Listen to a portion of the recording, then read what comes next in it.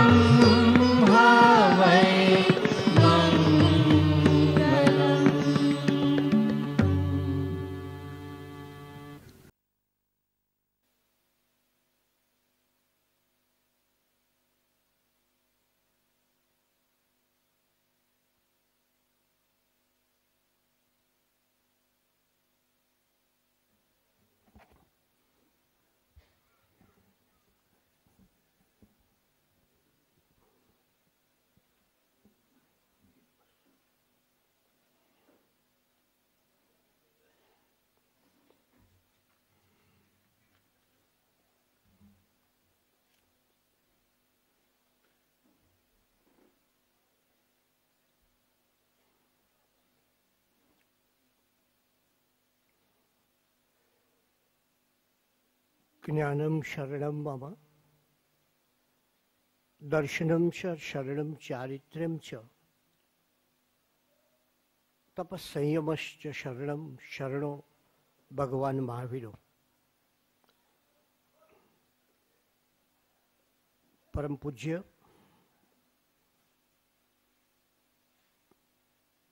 પરમ આદરણીય શ્રી ગોકુળભાઈ અન્ય સ્વજનો, સ્નેહીજનો. અને ચિંતાતુર એવો હું.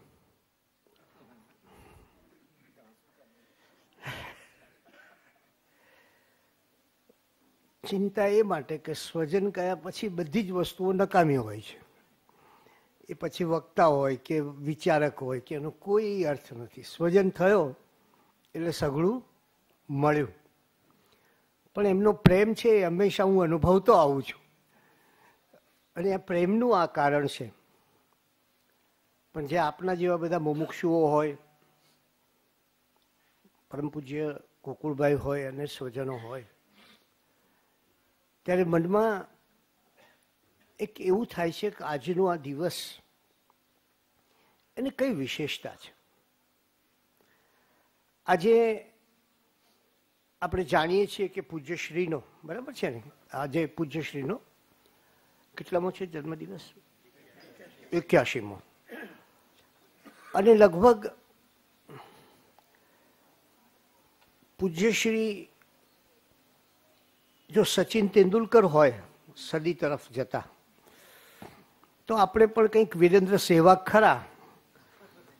લગભગ હું પણ આ કદાચ સત્યાવીસમી વખત કે અઠ્યાવીસમી વખત આ જન્મ દિવસે આપની સમક્ષ ઉપસ્થિત રહેવાનું મને સદભાગ્ય સાંપડ્યું છે.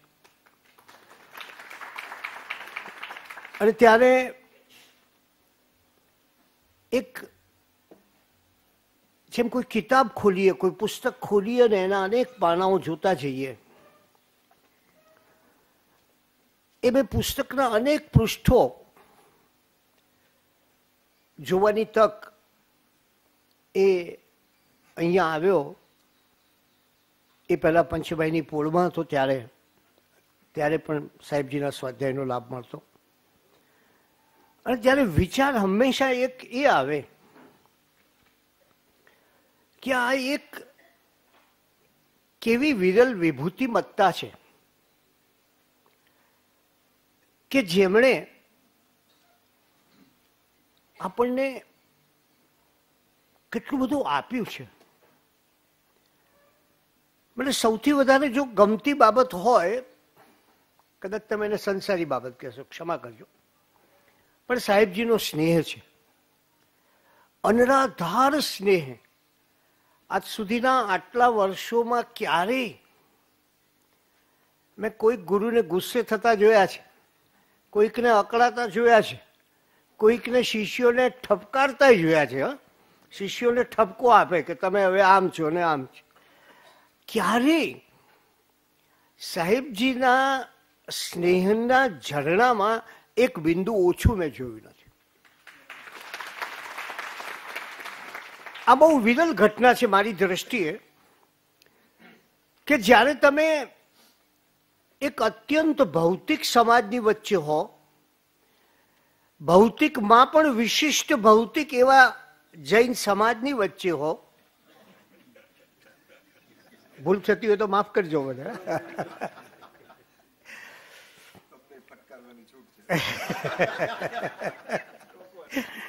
અને એવા સમાજની વચ્ચે રહીને સામાન્ય માનવીથી માંડી અને પરમ વિદ્વાનો, પરમ મુમુક્ષુઓ, પરમ વિચારકો આ બધાની સાથે તાલ મેળવી અને જીવવાની સાથોસાથ સ્નેહ વહેંચ- વહેંચવો જગની આ સર્વથી શ્રેષ્ઠ કડી, કવિએ કહ્યું કે સ્નેહ શું છે?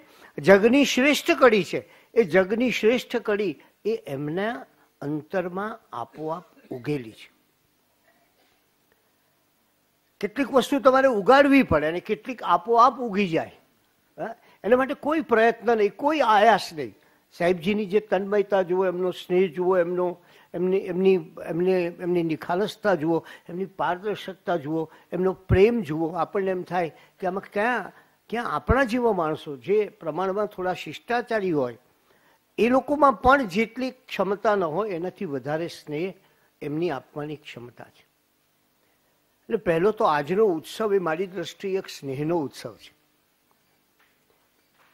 આજનો ઉત્સવ એ સ્નેહનો ઉત્સવ છે. બીજો આજનો ઉત્સવ એ એક વિભૂતિનો ઉત્સવ છે. સાહેબજી પાસે હું રહ્યો ત્યારે, જ્યારે જ્યારે આવું ત્યારે મને બહુ આશ્ચર્ય થાય શરૂઆતમાં કે કૃપાળુદેવ તો બરાબર છે. પણ સ્વામી વિવેકાનંદ ક્યાંથી આવી ચડ્યા? સ્વામી વિવેકાનંદની પણ વાત આવે. સુભાષચંદ્રની પણ વાત આવે. એટલે એક વાત, જે આજના સમયમાં સૌથી મહત્વની છે. એ ધર્મ કરતા પણ બહુ મોટી એક વાત છે, મારી દ્રષ્ટિએ. મારી ભૂલ હોય તો આપ સુધારી શકશો. એ છે, ધર્મ કરતા પણ મોટી વાત છે, એ છે સંસ્કૃતિ. જો તમારી સંસ્કૃતિનું મૂળિયું ઉખેડી નાખ્યું કોઈએ, જેના પ્રયત્નો આજે સતત થઈ રહ્યા છે, જો તમને માતા તરફના પ્રેમને અસ્વીકાર થયો, જ્યારે આજની સિરિયલો તમે કદાચ નહીં જોતા હો, પણ મોટાભાગની સિરિયલોમાં માતાના માટે ફિટકાર હોય છે. તમે એ માતાનું મૂળિયું ઉખેડી લેશો, આ દેશમાં કોઈ સંસ્કાર, કોઈ મૂલ્ય, કોઈ ભાવના, કોઈ કોઈ વિચાર કોઈ સૌ, કોઈ સદભાવ, કોઈ કોઈ સમતા કશું જ નહીં રહે. આ મૂળિયું છે આપણું. કુટુંબ એ આપણું મૂળિયું છે. એ જો કુટુંબને જ આપણે ઉખેડી નાખીએ આખું. ભાઈ, તોય તોય શું છે? પછી બે ભાઈઓ વચ્ચે મહાભારત ચાલતું હોય. અને ત્યારે એ જે સંસ્કૃતિનું દર્શન એક બહુ વિરાટ દર્શન છે. જે મેં આપણે કહ્યું તેમ આપણને સ્વામી વિવેકાનંદમાં જોવા મળે. એની એક નજર છે, એ આ બધાથી પર થઈ અને વ્યાપક જનસમૂહની હૃદય સુધી પહોંચે છે. એટલે સાહેબજીનું જે બીજી વસ્તુ મને બહુ સ્પર્શી ગઈ, એ છે એમની વિભૂતિમત્તા, એમની વ્યાપકતા. આખી સંસ્કૃતિને જોવાની દ્રષ્ટિ. અને એ જ માણસ જે વાદળાને જોતો નથી ને આકાશને જુએ છે, એ જગતને વ્યાપકતા આપી શકે છે.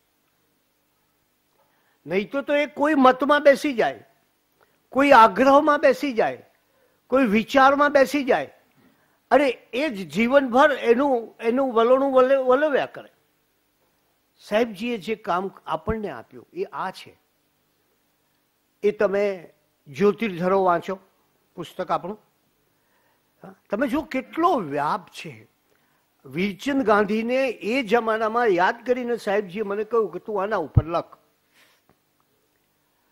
એ વીરચંદ ગાંધી જે વિવેકાનંદની બરોબરીનો વ્યક્તિ અને જૈન સમાજમાં ભૂલાઈ ગયેલો.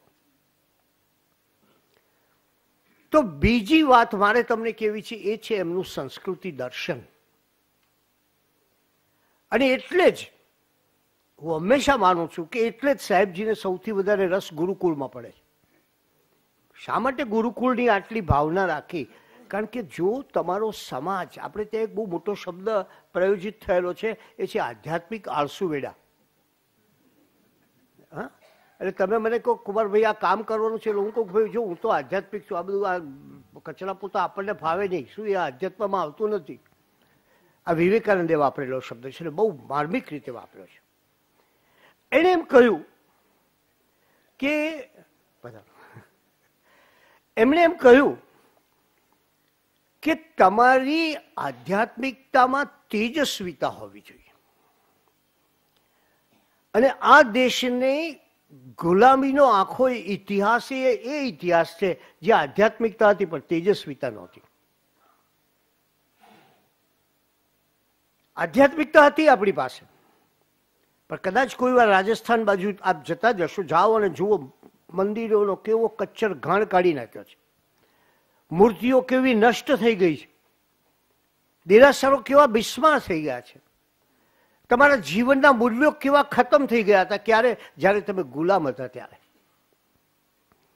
કારણ કે ગુલામને ન કોઈ ભાષા હોય છે, ન કોઈ સંસ્કૃતિ હોય છે, ન કોઈ શહૂર હોય છે. અને ત્યારે એ વસ્તુ એ સાહેબજીના વ્યાપક દર્શનનો વિચાર કરીએ ત્યારે થાય છે. કે એમનું આ કેવું વ્યાપક દર્શન? કે જ્યાં બધું જ ભેગું મળી જાય છે, જુદી જુદી નદીઓ બધી જ ભેગી મળે અને ગંગા વહે, એમ આખું વ્યાપક દર્શન એમનું વહે છે. ત્રીજી વાત. કેટલાક માણસોની નજર માત્ર બહુ ઊંચા લોકો તરફ હોય છે. કેટલીક જગ્યાએ એમ કહેવામાં આવે છે કે તમારું પ્રવચન એવું હોવું જોઈએ કે સામી વ્યક્તિને સમજાય નહીં, તો વધારે સારું. અહીંયા સાહેબજીના પ્રવચનમાં તમને ન સમજાય એવો એક શબ્દ ના મળે. મને બતાવો. હે? કારણ એ હૃદયમાંથી નીકળે છે, બુદ્ધિમાંથી નહીં.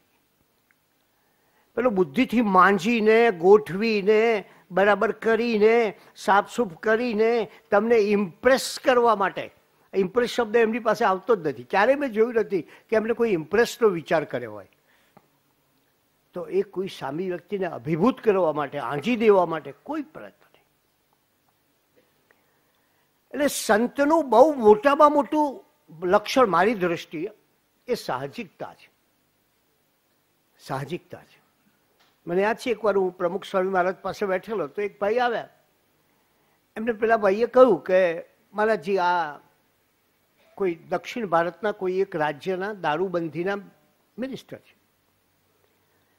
એમને કહ્યું, બહુ સારું, મારા આશીર્વાદ છે. તારે લોકોને એક જ વાત કરવી કે બીજી બધા દુશ્મનો છે એ બહાર રહે છે, દારૂ એ અંદર રહે છે. બસ તારે આટલું જ કહેવાનું. હવે તમે જો કેવી સરળતાથી આખી વાત એમણે બતાવી દીધી.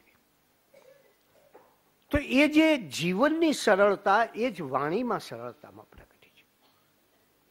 આ ઐક્ય છે એક. જીવન, વાણી અને હૃદયનું.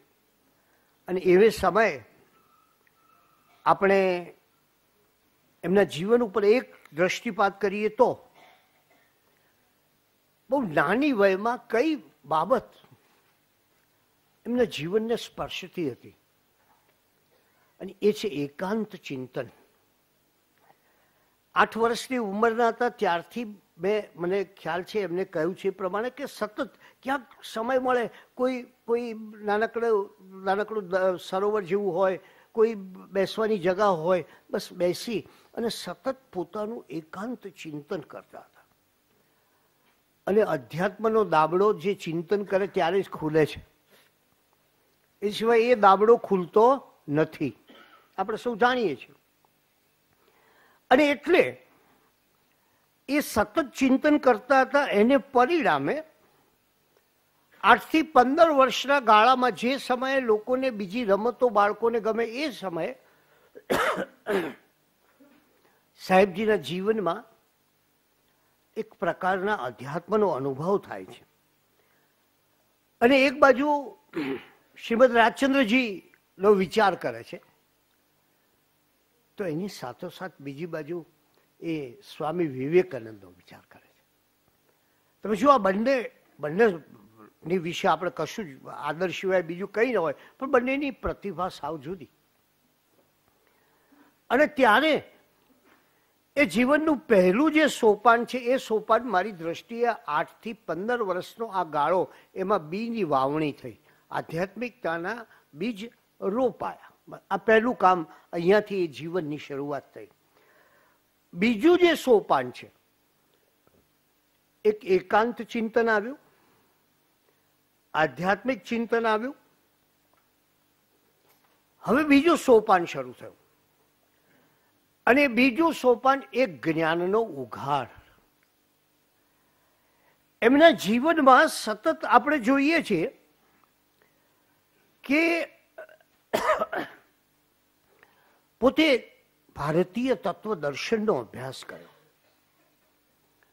અને એ તત્વદર્શનમાં મેં તમને કહ્યું તેમ પહેલેથી આકાશ જોવાની ટેવ. એનું પરિણામ એ આવ્યું કે એમણે જ્ઞાનેશ્વરી ગીતા પણ વાંચી અને એકનાથનું ભાગવત પણ વાંચ્યું. કલ્પના કરો તમે કે આ ઉંમરે હજી હજી યુવાનીમાં એક ડગ મૂકે છે એ સમયે જ્ઞાનેશ્વરી ગીતા, એકનાથનું ભાગવત. અને જે એમના જીવવા કરી, જીવ પર સતત રમતું હોય એ મધ્યકાલીન સંતોની કવિતા. હા? અમે અધ્યાપકો ભણાવીએ ને તો ચોપડી રાખવી પડે બાજુમાં, કે આ કવિતામાં કંઈ ભૂલ ન થાય. સાહેબજીને તમે જુઓ આમ, ધારા નીકળે. કવિતાની મધ્યકાલીન સંતોની કાવ્ય ધારા આ બધું આત્મસાત થયું. એટલે એક બાજુ જ્ઞાનેશ્વરી ગીતા, એક બાજુ એકનાથી ભાગવત, એક બાજુ ઉપનિષદ અને એની સાથોસાથ મધ્યકાલીન સાહિત્યનો અભ્યાસ. અને પરિણામે મારે જે તમને બતાવવું છે તે એ છે કે એક વ્યાપક સંસ્કૃતિ દર્શન એમનામાં જાગ્યું એમને એક નાનકડી પુસ્તિકા છે જે બહુ એમને પણ પ્રિય છે અને મને પણ પ્રિય છે. એ સંસ્કૃતિને કેમ રક્ષીશું એના ઉપર છે. અને ત્યારથી જે સ્વાભાવિક રીતે એમણે ઓગણીસો ને ચોપનમાં આપણે જાણીએ છીએ, કુનકુંદાચાર્યના ત્રણ રત્નો પુસ્તક વાંચ્યું. યુવાન હોય, બીમાર હોઈએ, અને આપણને શું મન થાય વિચાર કરજો. આપણને એમ થાય કોઈક રસભરી નવલકથા વાંચીએ. આ- યુવાનીનો એક સ્વાભાવિક ક્રમ છે. પણ કેટલીક વ્યક્તિઓ જન્મે છે જ આ રીતે. એને મારી અને તમારા મેથેમેટિક્સથી ઓળખી શકાતી નથી. અને એટલે આ યુવાનીના આ કાળમાં, એટલે કે અઢાર, ઓગણીસ, વીસ, એકવીસ વર્ષે, એમને મન થાય કે હું કયું પુસ્તક, મને એમને કયું પુસ્તક સ્પર્શે છે? માણસની ઓળખ બે રીતે જ તમને મળે. એક એ માણસને કઈ બાબતમાંથી આનંદ આવે છે? તમે જોજો, માણસને જાણવું હોય તો પૂછ્યું તને આમ સૌથી વધારે મજા છે એમાં આવે? એટલે એમ કે ફલાણા સુરતી ખમણમાં આવે, કે પછી અમુક ચલચિત્રમાં આવે, કે અમુક ફરવામાં આવે, કે જે કંઈ હોય તે. એટલે માણસની પહેલી ઓળખ આ છે અને એની બીજી ઓળખ છે, માણસને કયું પુસ્તક ગમે છે? તમે પૂછો તમારું પ્રિય પુસ્તક કયું? અને પછી જે માણસને વિચાર કરવો પડે કે ભાઈ મારા જીવન ઘડતરમાં કયા પુસ્તકોએ મદદ કરી એનો અભ્યાસ કરવો પડે. અને ત્યારબાદ ઓગણીસો ને સત્તાવનની આસપાસમાં પરમ કૃપાળુ દેવના સાહિત્ય સાથે એમનો એક મેળાપ થાય છે. અને એને પરિણામે બે વસ્તુ બની કે એક સંકુચિતતા ક્યાંય નહીં આવી. નહીં તો મોટામાં મોટી પરિસ્થિતિ એ થાય કે વ્યક્તિમાં સંકુચિતતા આવે.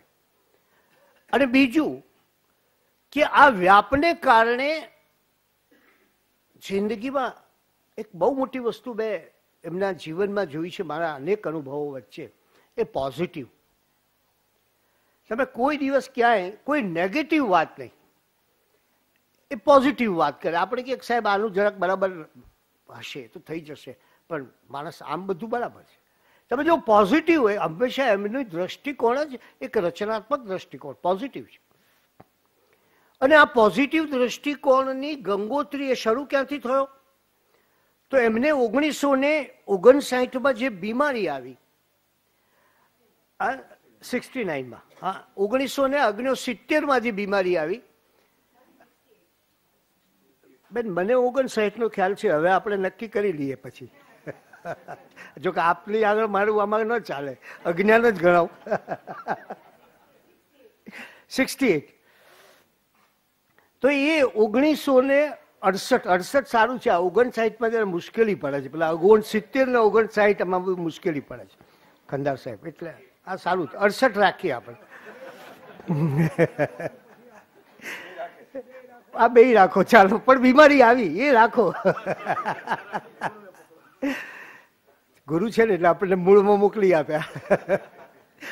ઓગણીસો ને અડસઠની એ બીમારી વખતે તમે જુઓ કે પહેલું એક યુવાનમાં, યુવાનીમાં આવી કોઈ બીમારી આવે ત્યારે વ્યક્તિનું કયું કયું વલણ હોય. સાહેબજીનું વલણ મારી દ્રષ્ટિએ જેને હું કહું છું કે એમણે ઉપાધિને સમાધિ બનાવી દીધી. એમણે ઉપાધિ જે આવી મોટામાં મોટી ઉપાધિ, આવી ઉંમર, આવી વસ્તુ. અને એમ થાય કે હવે આમ આ મેળવી લઉં, આ પહોંચી જવું આ ડિગ્રી લેવાની છે, આ અભ્યાસ કરવાનો છે. અને ત્યારે એ બીમારી આ બહુ મોટી વાત છે, એ એમની શાંતિભરી સાધનાની અનુકૂળતામાં પલટાઈ ગઈ. બીમારીને પરિણામે શું થયું? અને પછી આપણે જાણીએ છીએ કે એકાદ વર્ષમાં તો એમને શુદ્ધાત્મક જ્ઞાનનો એક પ્રકાશનો અનુભવ થયો. આ સંસ્થાની સ્થાપના અને એ સ્થાપનામાં પછી પોતાના પૂજ્ય આત્માનંદજી નામ રાખ્યું. ત્યારબાદ વિદેશમાં ગયા. અને હવે શું? દરેક વિભૂતિ છે એ પોતાનો એક પ્રવાહ છોડતી જાય છે. પ્રવાહ છોડતી જાય છે. આજે આપણી પાસે ગાંધીજી નથી, પણ ગાંધીજીની વાતો આપણે સતત સમાજમાં અનુભવતા રહીએ છીએ. આજે આપણી પાસે આદિ શંકરાચાર્ય નથી, પણ આદિ શંકરાચાર્ય વિશે આપણે સતત સમાજમાં સાંભળતા રહીએ છીએ. વાલ્મીકી નથી. પરંતુ એમણે જે ભાવનાઓ સમાજને આપી છે, આ વ્યક્તિઓ બધી શેનાથી જીવતી હોય છે? એ દેહ પુરુષ નહીં, દેહધારી પુરુષ નથી, એ ભાવના પુરુષ હોય છે. ભાવનાધારી પુરુષ છે. અને એટલે એમણે, મેં તમને કહ્યું તેમ એક ગુરુકુળ બહુ મનમાં હતું ઘણા વખતથી. બીજી યોગની વાત, યોગનું શિક્ષણ આપવું, સમાજના સામાન્ય માણસને જોઈને વિચાર કરે વ્યસન મુક્તિ, એ પણ થવી જોઈએ, શાકાહાર ધર્મ વાર્તા અને યુવા પેઢીને આમાં સામેલ કરવી એટલે આજે આપણે જ્યારે અહીંયા એકત્રિત થયા છીએ ત્યારે વિચાર એ કરવાનો છે. અને ઘણીવાર આ સમાજ એવો છે કે એને એને ધન્યતાનો ભાવ બહુ ઓછો આવે છે. વિદેશમાં જાઓ અને કોઈ એક માણસ સરસ નાનો એક આઈટમ કરે ને તો પણ લોકો તાળીઓના ગણગડાટ કર્યા કરે. કાર્યક્રમ પૂરો થાય પછી ઊભા થઈને પણ એને તાળીઓથી વધાવે, એને ઉત્સાહ આપે. અહીંયા કંઈક એવું છે કે તાળી પાડવી હોય તો વિચાર કરે. મેં એક જણને પૂછ્યું, મને કે અમદાવાદમાં કંઈ આપવાનું એનો વિચાર નહીં કરવાનો. તાળી પડાય જ નહીં કહે મારો મુદ્દો આ છે કે આપણે ભગવાન પાસે જઈએ છીએ. ત્યારે આપણે કોઈ દિવસ એને એમ કહ્યું છે કે, હે મહાવીર, હે કૃપાળુદેવ, તમે મને મળ્યા. એનાથી મારા જીવનને કેટ કેટલો લાભ થયો. તમે જો ન હોત તો હું કેવો હોત, કેવો રખડતો હોત, કેવો ભમતો હોત, કેવા મારા કુવિચારો હોત, કેવા મારા વ્યસનો હોત, કેવું મારું જીવન હોત, કેવો મારું ખરાબ જિંદગી હોત, આ તમે મળ્યા માટે તમે મને આટલું આપ્યું.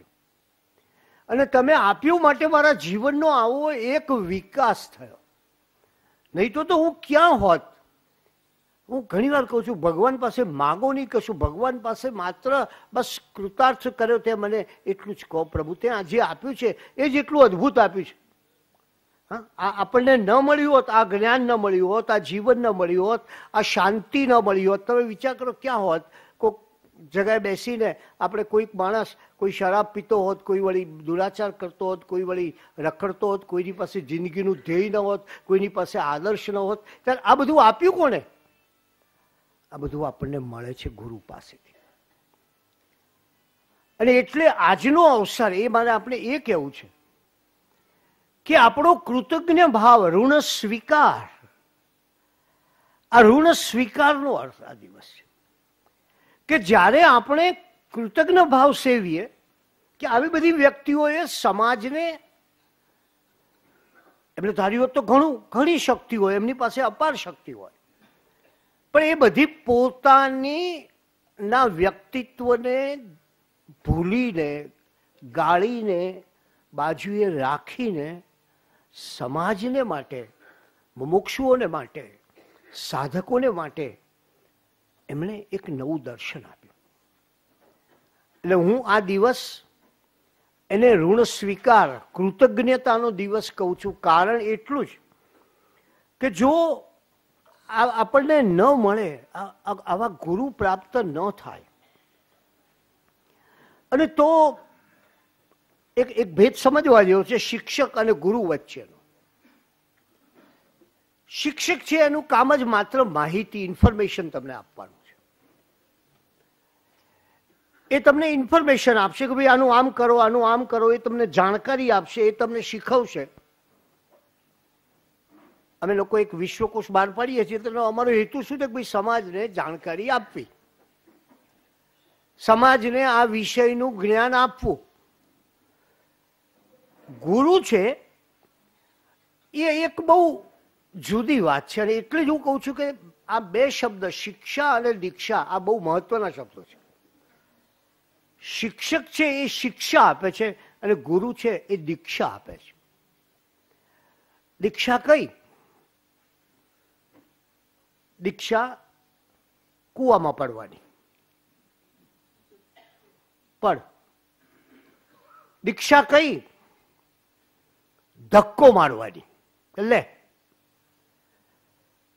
ગુરુ ની સૌથી મોટી વિશેષતા એ છે કે પેલો શિક્ષક છે ને એ તો તમને જ્ઞાતમાં લઈ જાય છે. નોન આ તમે જાણો છો, આ ઇન્ફોર્મેશન છે, આ માહિતી છે, આ વિજ્ઞાન છે, આ બાયોગ્રાફી છે, આ કેમેસ્ટ્રી છે, બધું સમજો. જ્ઞાત દુનિયા છે. તમે જાણો છો એ જગતને કે ભાઈ આ મારા વિજ્ઞાનનું પુસ્તક છે સાહેબ. ગુરુ છે એ તમને અજ્ઞાત દુનિયામાં લઈ જાય છે તમે વિચાર કરો, તમે બધા જ બેઠા છો અહીંયા. વિચાર કરો કે બાળપણમાં કોઈ દિવસ આવી કલ્પના કરી હતી કે આવા સુંદર આશ્રમની અંદર, આવા સુંદર હોલની અંદર, આવી સુંદર રીતે આવા મહાન છબીઓની વચ્ચે, આવા સ્વાધ્યાયના પેલા મહાનુભાવોની વચ્ચે આપણને બેસવાની જીવનમાં તક મળશે. નહીં તો આપણે ઘેર બેઠા બેઠા ઓટલા ઉપર બેસી અને ત્રણ જણાને બોલાવીને, હવે બાંકડો આવ્યો, ઓટલો જતો રહ્યો. પણ કંઈક બેઠા હોત, ને ગપ્પા મારતા હોત, ને સમય પૂરો કરતા હોત. ગુરુએ આપણને જે ધક્કો માર્યો એનો વિચાર કરવો છે. અને બહુ પ્રેમથી ધક્કો મારે. પડ પડ બહુ મજા આવશે પડ તું તારે, જવા દે. એમ કે ધક્કો એટલે એમ કે પાછળથી આવીને એકદમ નહીં. આમ જરા ખભે પંપાડતા પંપાડતા તમને એક ધક્કો મારી દીધો. અને જ્ઞાતમાં જવું સરળ છે, કારણ કે જ્ઞાતમાં તમને ભય નથી. જ્ઞાતમાં હું જાણું છું કે અહીંથી નીકળીશ, એટલે અહીંયા બાજુમાં મહાવીર જઈને આરાધના કેન્દ્રમાં પહોંચીશ. જાણું છું. ગુરુ છે એ તમને અજ્ઞાતમાં મોકલે છે. અને જ્યારે અજ્ઞાતમાં તમે જાઓ, એટલે તમને પારાવાર ભય આવે. બરાબર ને? ભાઈ સ્વીકાર કરે છે મારી વાતનો. ઘણા ભય થાય. સાહેબ, શું થશે? તમે બધા ગયા છો કોક ને કોક ટાઈમે. છાનામાના તો જાહેરમાં. કે સાહેબ, હવે આ તમે કહ્યું તો ખરું ને અહીંયા આવી ગયા, પણ પછી હવે આનું શું?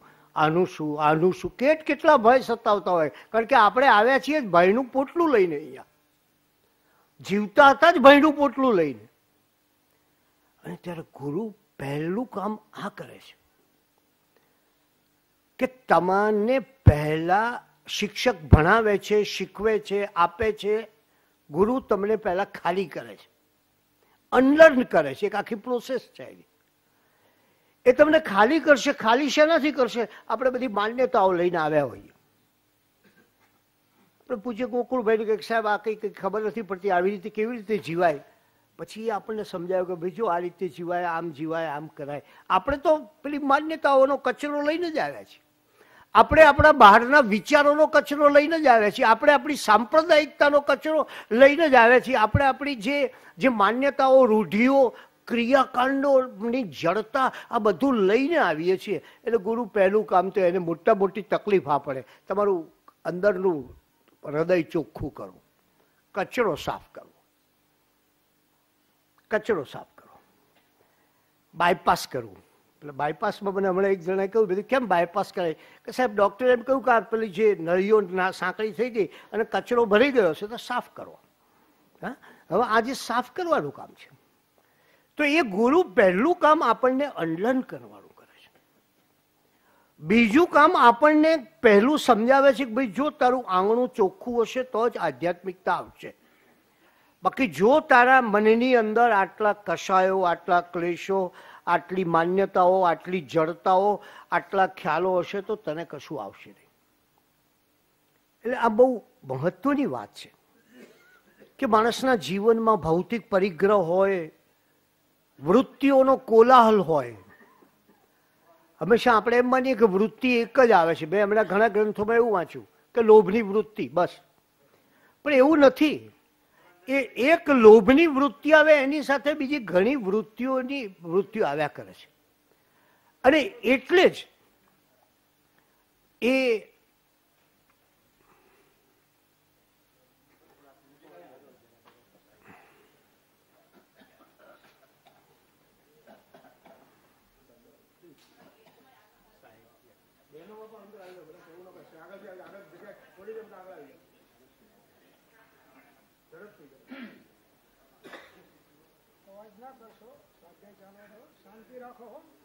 આપણે કહેતા હતા કે ગુરુ છે અને શિક્ષક છે, એનો ભેદ આ શિક્ષક શીખવે છે અને ગુરુ જગાડે છે. આ એક મોટો ડિફરન્સ સમજી લેવા જેવો છે. એને માત્ર શીખવવાનું જ કામ કર્યું કે જે આખી શીખવવાની જે પ્રક્રિયાનો તમે વિચાર કરો, તો એ છે બહારથી અંદર આવવું. બરાબર? જ્ઞાન આપણે પુસ્તકમાંથી આપીએ બહારથી અંદર આવે છે. જગાડવાની પ્રક્રિયા છે, એ અંદરમાં થતી પ્રક્રિયા છે, એટલે અંદરથી બહાર જવાની પ્રક્રિયા છે. અને આ જગતમાં જે વિરલ પ્રક્રિયાઓ થાય છે, એ બધી અંદરથી બહાર જવાની થાય છે. જે ક્ષણે બહારથી માણસ અંદર જાય છે, એ ક્ષણે માણસ પોતાની ભૌતિકતા, પોતાના વિચારો, પોતાની વૃત્તિઓ, પોતાના કશાયો, આ બધું અંદર ઠાલવતું જાય છે. પણ જે ક્ષણે કોઈ ઝરણું જુઓ તમે, કેવું નાનકડું હોય પછી ધીરે ધીરે ધીરે ધીરે ક્યાંકથી ફૂટી નીકળે ને પછી વહેતું જાય. તો ગુરુનું એક કામ આ છે કે શીખવાની પ્રક્રિયા એ બહારથી અંદર છે અને જગાડવાની પ્રક્રિયા જે છે એ અંદરથી બહાર છે. શિક્ષક જે શીખવે છે એ તમારે સ્વીકારવાનું હોય છે. તો ગુરુની ટેક્સ્ટબુક કઈ? શિક્ષક પાસે ટેક્સ્ટબુક છે, વિજ્ઞાનનું પાઠ્યપુસ્તક, ભૂગોળનું પાઠ્યપુસ્તક, બધા પુસ્તકો છે. ગુરુ પાસે જે પાઠ્યપુસ્તક છે, એ આત્માનું ભવનું પાઠ્યપુસ્તક છે. પોતાના ભીતરમાં થયેલા અનુભવોમાંથી તૈયાર થયેલું એ ટેક્સ્ટબુક છે. અને એને પરિણામે તમે જોજો કે કોઈ તમે શિક્ષક પાસે જાઓ અને ગુરુ પાસે જાઓ તો ભેદ આટલો જ છે કે શિક્ષક પાસે જાઓ એટલે તમે કંઈક મેળવતા રહેશો અને ગુરુ પાસે જાઓ એટલે તમારા હૃદયમાં કંઈક સંચાલનો થવા માંડશે. તમે બેઠા હો ને જાણતા હો કહો આવી વાત છે? આવું છે? તમારી બુદ્ધિ નહીં, તમારું આંતરચેતના, મારી દ્રષ્ટિ આ છે. કે ગુરુ તમારી આંતરચેતનાને સ્પર્શે છે, એને જગાડે છે, એ સુષુપ્તિને જગાડે છે અને તમને કહે છે કે હવે સાવધ થાવ હવે બરાબર તૈયાર થાવ અને માટે જ ગુરુનું દર્શન એ આપણે કરીએ ત્યારે. સામાન્ય માણસને તમે જુઓ ને ત્યારે જોજો તમે, કેવું તમારી આંખો હોય છે. કોઈ રસ્તામાં આપણને મળ્યા હોય, અહીંયા આવતા હોઈએ, બહારથી નીકળ્યા હોઈએ, મળે, આપણે આંખથી જોઈએ છીએ. જ્યારે ગુરુને છે ને, એ તમે જોતી વખતે આંખ દ્વારા તમારું હૃદય જોતું હોય છે. આ બહુ મોટો ડિફરન્સ છે. ક્યારેક વિચાર કરજો મારી વાત. આંખ દ્વારા તમે નથી જોતા, તમારી આંખો નથી જોતી, પણ તમારું હૃદય જોતું હોય છે. રસ્તો કયો છે? આંખનો માર્ગ છે. અને એટલે કોઈ જુદો જ અનુભવ થાય છે ગુરુ માટે. મેં આપણે કહ્યું તેમ કે અંગ્રેજીમાં ગુરુ શબ્દનું અંગ્રેજી નથી મળતું. સ્કોલર મળે તમને અંગ્રેજીમાં. તમને અંગ્રેજીમાં પ્રોફેસર મળે, પણ અંગ્રેજીમાં ગુરુ ન મળે કારણ કે એ સંસ્કૃતિમાં ગુરુ મળવા દુર્લભ છે. મહેન્દ્રભાઈ, બરાબર ને? ગુરુ મળવા દુર્લભ છે. તો એટલે તે આવે છે અહીંયા ને, મૂળ કારણ. હા. તો અહીંયા આપણે એ વિચારીએ કે જીવનમાં ઘણા વિરહ થાય. કોઈ સારી વસ્તુ જતી રહે તો આપણે બાળપણમાં વિરહ થતો, રમકડું તૂટી જાય એમ થાય, જતું રહ્યું જતું રહ્યું એવું થાય. નાન- ઉંમરમાં. પતિ પત્નીના પ્રેમ વખતે પણ એક વિરહનો અનુભવ થાય. પણ ગુરુનો વિરહ એ જગતનો એક ઉત્કૃષ્ટ વિરહ છે. ગુરુનું દર્શન જેમ વિશિષ્ટ છે, એમ ગુરુનો વિરહ ભાઈ, સાહેબજીને ઘણા વખતથી મળ્યો નથી મળ્યો નથી મળ્યો નથી મળ્યો નથી. એ વિરહ તમને તમને, તમારા મનમાં જે થાય, એનાથી બે કામ થાય. બીજા વિરહમાં તમને ભૌતિકતા મળશે, ગુરુ વિરહમાં તમને આધ્યાત્મિકતા મળશે. બીજા વિરહમાં તમને માત્ર તમારી ઇન્દ્રિયનો આનંદ સંકળાયેલો છે. પત્નીને મળવાની ઈચ્છા હોય, ઇન્દ્રિય આનંદ છે. સુખોપભોગ છે. ગુરુને મળવાની ઈચ્છામાં તમારા અંતરનો આનંદ છે, ઉલ્લાસ છે. અને એટલે જ એ એ જે વિરહ છે, અને ધીરે ધીરે ધીરે ધીરે ખ્યાલ આવે કે આવા ગુરુ મળ્યા. અને મેં કેટલા જન્મો અગાઉ પસાર કરી નાખ્યા છે, ખબર નથી. કેટલાય જન્મો પછીનો આપણો આ જન્મ છે. બરાબર છે ને? મારી ભૂલ થતી હોય તો સુધારજો. હા. તો મને આટલા જન્મો પછી માંડ માંડ માંડ માંડ ફરતા ફરતા ફરતા ફરતા ભવ ભ્રમણ કરતા કરતા ભવના ફેરામાં ભટકતા ભટકતા ભટકતા આ ગુરુ મળ્યા. અને ત્યારે આ ગુરુ મળ્યા ત્યારે આપણને એમ થાય કે બસ, આ મારો વિરહ કાળ પૂરો થાય છે. આ મારો વિરહ કાળ પૂરો થાય છે આની તીવ્રતા. પૂજ્ય લઘુરાજ સ્વામીએ પરમ કૃપાળુદેવ શ્રીમદ રાજચંદ્રજીને બહુ સરસ કહ્યું છે, અનાદિકાળથી રખડીએ છીએ માટે અમારી સંભાળ લો. અદ્ભુત વાક્ય છે આ. આ ગુરુ વિરહનું આ વાક્ય એક એક મારી દ્રષ્ટિએ એક- એ અનુભૂતિ. વાક્ય તો ઠીક છે, અનુભૂતિ. એ કેટલી વિરલ છે કે અનાદિ કાળથી રખડતા હતા. હવે તમે અમારી સંભાળ લો. તમે અમને પ્રાપ્ત થયા છો. નહીં તો પાછું આ રખડવાનો મામલો ચાલુ રહેશે. અને એટલે એકવાર સ્વયં શ્રીમદ રાજચંદ્રજીએ લલ્લુજી મુનિ લઘુરાજ સ્વામીને બહુ પ્રશ્ન પૂછ્યો બહુ માર્મિક પ્રશ્ન છે. એમણે પૂછ્યું, તમે શા માટે અમને માન આપો છો? ગુરુ પ્રશ્ન કરે, બહુ વિચિત્ર લાગે આપણને, પણ પૂછ્યું કે આ બધું રોજ અમને શું કામ માન આપો છો? કારણ શું છે? અને શું અદ્ભુત જવાબ આપે છે. અદ્ભુત જવાબ. લઘુરાજ સ્વામી કે છે તમને જોઈને તમારા પ્રતિ ઘણો પૂજ્યભાવ થતો હતો અને હર્ષ થતો હતો. વળી, આપણે જીવનમાં આપણે કોને યાદ કરીએ છીએ? આપણને સ્નેહ આપવા માટે માં અને આપણને છત્ર આપવા માટે બાપ, પિતા. ભાઈ, આ પિતા હતા.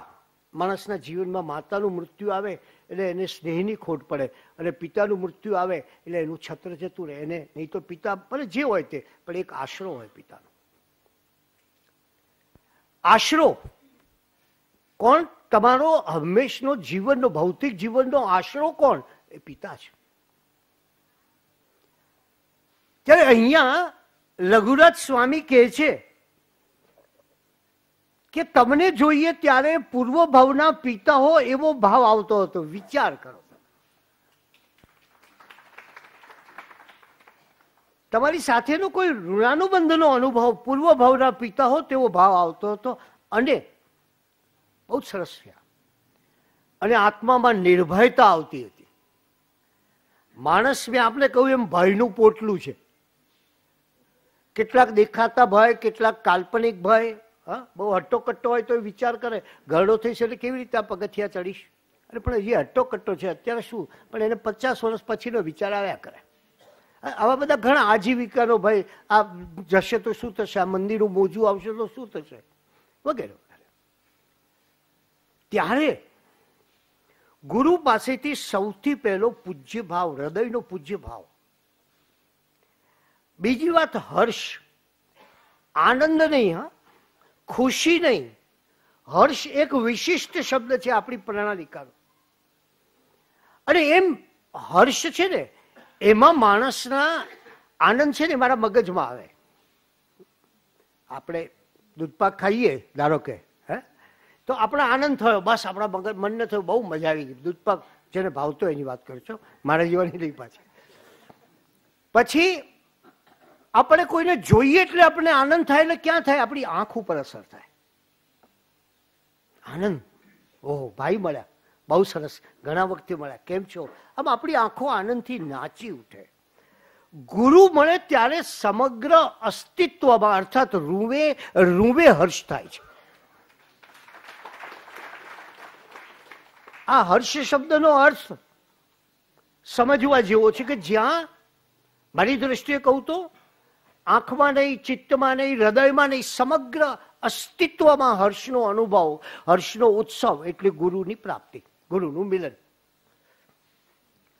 અને ત્યારે બહુ સરસ કહે છે લલુજી. એ કહે છે કે તમારી હાજરીમાં અમને આત્માની નિર્ભયતા આવે છે. અમને આત્માની નિર્ભયતા, ભય નહીં તો બહુ ભય લાગતો હતો.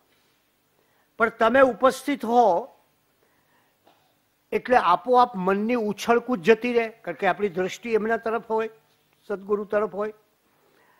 શરીરની આળપંપાળનો વિચાર ના આવે.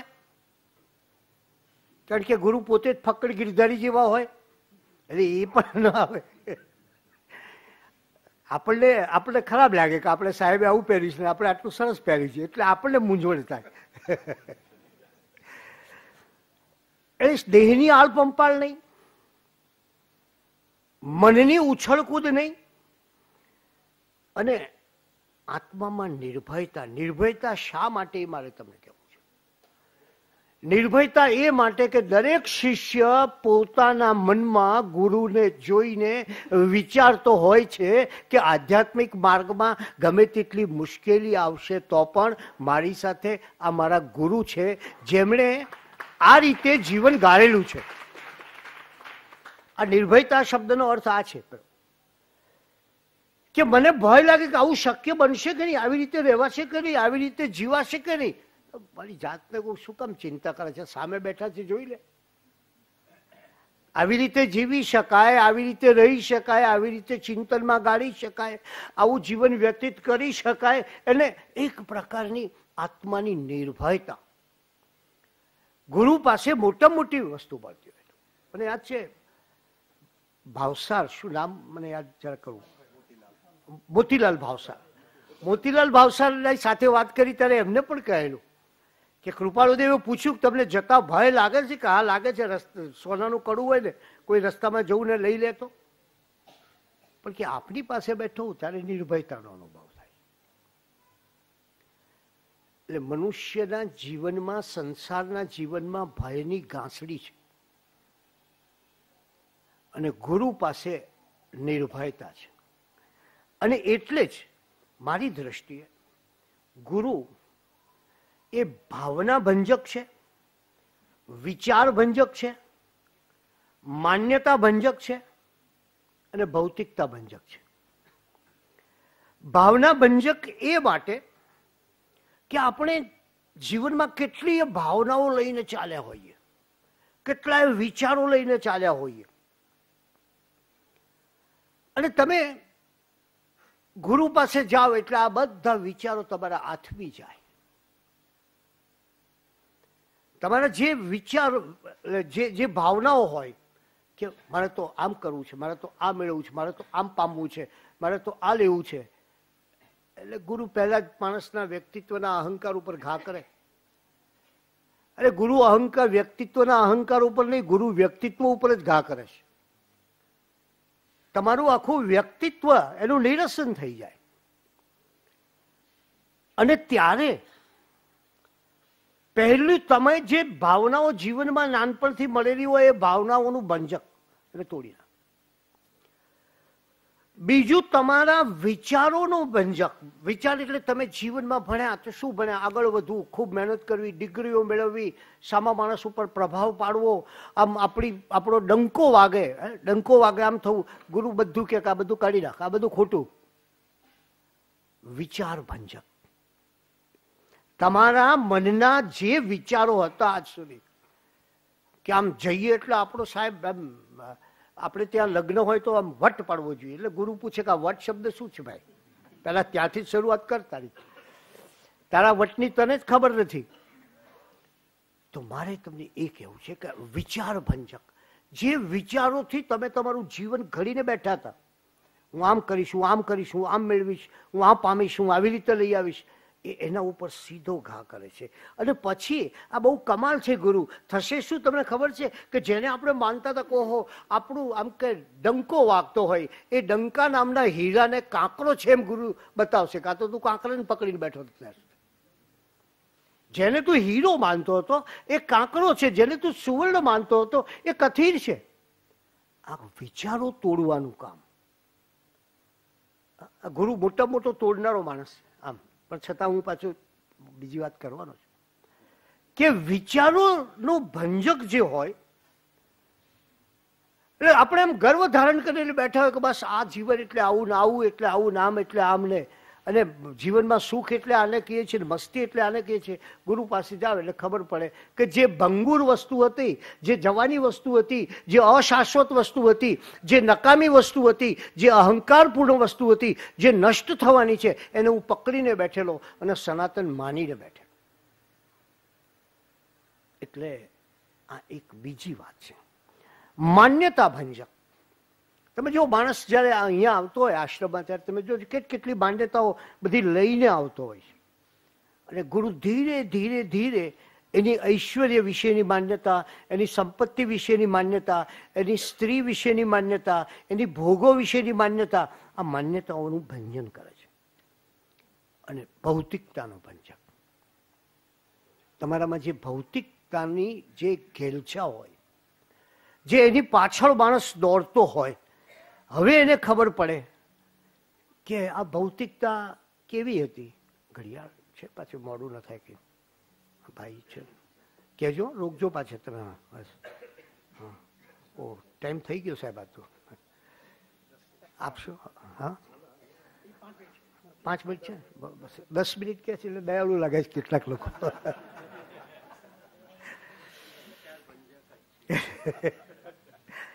એટલે પહેલા ભૌતિકતાની પ્યાસ હતી મને. મને એમ થાય કે મારું ઘર આવું હોય, મારું મકાન આવું હોય, મારું ઘેર હોલ આવો હોય. મારે આમ બસ એ પ્યાસની પાછળ હું દોડતો હતો. ગુરુ એક બીજી પ્યાસ જગાડે છે આધ્યાત્મિકતાની પ્યાસ જગાડે છે. દોડાવે છે તો આપણને પાછળ. હા? પણ એક એવી આધ્યાત્મિકતાની પ્યાસ જગાડે છે. અને એટલે ગુરુ એ મારી દ્રષ્ટિએ બે કામ કરે છે. એક મૂર્તિ ભંજક છે અને બીજો મૂર્તિ સર્જક છે. તમારા ભીતરમાં તમારા ભીતરમાં એક એવી મૂર્તિનું સર્જન કરે છે કે આપણને એમ થાય, પેલા કવિને થયું ને કે કસુંબલ આંખડીના આ કસબની વાત શી કરવી? કસુંબલ આંખડીના આ કસબની વાત શી કરવી? કલેજુ કોતરીને નાજુક મીનાકારી કરી દીધી. ધીરે ધીરે નાજુક અહીંથી તમારા હૃદયની અંદરનું એક નવું શિલ્પ બનાવ્યું. તમે તો એને એ જ છો. ભાઈમાં કોઈ ચીજ નથી ને અંદરનું શિલ્પ બદલાઈ ગયું. એટલે કવિ જે જે ગુરુ છે, એ મોટામાં મોટો મૂર્તિ સર્જક છે. બહારની મૂર્તિની નહીં, ભીતરની મૂર્તિની વાત કરો. અને અંતે માણસ જઈ જઈને ક્યાં જાય છે? ભીતરની મૂર્તિ પાસે જ પહોંચતો હોય છે અને એટલે એ ગુરુ તમને જ્યારે એક કક્ષાએ લઈ જાય છે, ત્યારે જોજો દરેકને જુદું જુદું ઔષધ આપે છે. શિક્ષક છે એ તમને નકશો આપશે. ગુરુ ક્યારેય તમને કોઈ નકશો નહીં આપે. ગુરુ કહેશે, ધ્યેય બતાવશે. ભાઈ, જો આમ થતું, પણ એને માટે તું આમ કર આમ કર, આમ કરી. કારણ કે એ જુએ છે કે મારે આના ઉપર બરાબર ધ્યાન રાખવાનું છે. આમાં તો ઘણા ઘણા પ્રોબ્લેમ છે. આ કોઈ એક રોગનો દર્દી નથી. આ અનેક રોગનો દર્દી આવ્યો છે. એટલે પાછો કોઈ બીજો એક ડાયાબિટીસ વધી જાય તો શું કરવું હાઈ પ્રેશર થઈ જાય તો શું કરવું એટલે ગુરુ તમને કદી નકશો આપતો નથી. એ ધ્યેય આપે છે.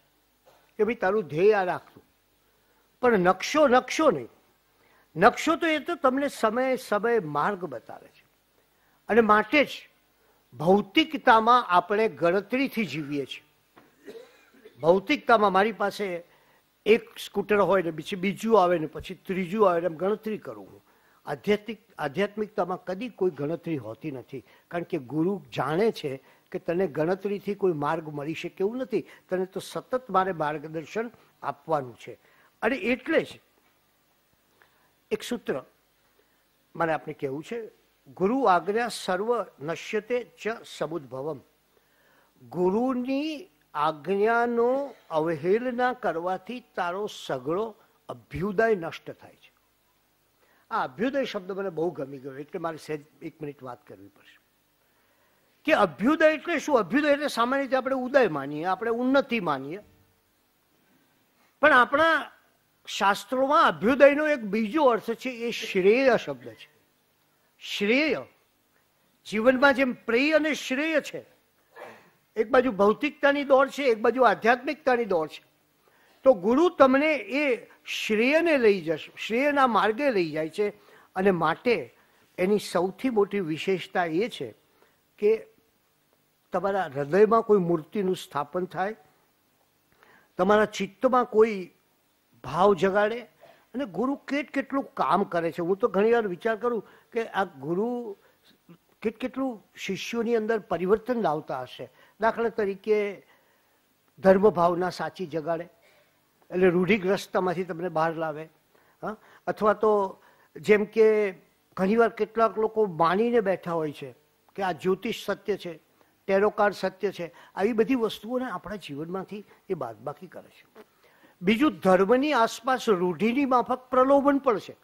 આટલું કર તો આટલું મળશે, આટલું કરીશ તો આટલું થશે. એ પ્રલોભનમાંથી તમને મુક્ત કરે છે. અને એ રીતે ગુરુ આપણા જીવનમાં સંઘર્ષને બદલે સંકલ્પ જગાડે છે. અને સમન્વયને બદલે સમર્પણ જગાડે છે.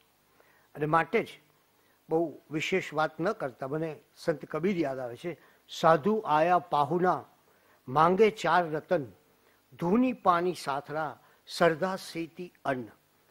સાધુ આયા પાહુના માંગે ચાર રતન. તારે ત્યાં સદગુરુ મહેમાન તરીકે આવ્યો છે અને ચાર રત્ન તારી પાસે માગે છે, ચાર વસ્તુ તારી પાસે માગે છે. પહેલા શું?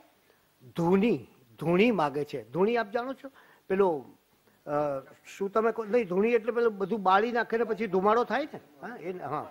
તો ધૂણી માગે છે. ધૂણી એટલે અલખની સાથે જોડાયેલી ધૂણી છે, જે તમને એક અધ્યાત્મના અગોચરની માટે જવાની તમન્ના એ આપે છે. ધૂણીનો બીજો અર્થ થશે, તમારું બધું બાળી નાખે છે. તમને તમારી આખી આગને ઠારી દે છે, તમે ધૂમ્રમય થઈ જાઓ. અને ધૂણી એટલે, મેં તમને કહ્યું તેમ, કોઈ સાધુ મહાત્માની ધૂણી હોય, જે જગતના અને સંસારના પર થઈ અને આધ્યાત્મિક ભાવો સુધી. પેલું ધૂણી બીજું જલ. જલ એટલે પહેલા ગુરુ તારા કશાયો બાળી નાખે છે. પછી તને શાંત કરે છે. આ બહુ મોટું કામ છે ગુરુનું. તમારા ચિત્તમાં એક શાંતિ આપી. અને તમે સમતા કહો કે જે કંઈ તમારા ટર્મિનોલોજીમાં આપણે ગમે તે રીતે મૂકીએ. પણ એક પરમ શાંતિ છે. તમે અમદાવાદમાં રસ્તા ઉપર જઈને કોઈ માણસને મળશો અને એને, એની એની શાંતિ જુઓ. એમાં શાંતિ હશે જ નહીં. બરાબર ને? એને કંઈક ને કંઈક પ્રોબ્લેમ છે, કંઈક ને કંઈક એનું મગજ જ પ્રોબ્લેમથી ભરતું હોય. અહીંયા તમે છો, કોઈ પ્રશ્ન નથી. એક શાંત સરોવરનું જળ હોય, એમ તમારા વિચારો બધા શાંત થઈ ગયા છે. ગુરુ બીજું શું આપે છે? જલ આસન. આસન એટલે તમને સ્થિર કરે છે. કબીરના શબ્દોમાં બહુ રહસ્ય છે, બહુ મોટું રહસ્યવાદી છે. ગુરુ તમને આસન છે મત ડોલ. તમે જાણો છો? એમ તમારા ચિત્તને, તમારી, તમારા મનને, ધ્યાનને માટે એકાગ્ર કરે છે, સ્થિર કરે છે અને પછી ભોજન અને પછી તને ભોજન આપે છે, તારા ભીતરને તૃપ્તિ આપે છે. આવો આ ગુરુનો મહિમા. આજે આપણે એનું સ્મરણ કરીએ અને એની કૃતાર્થતા અનુભવીએ.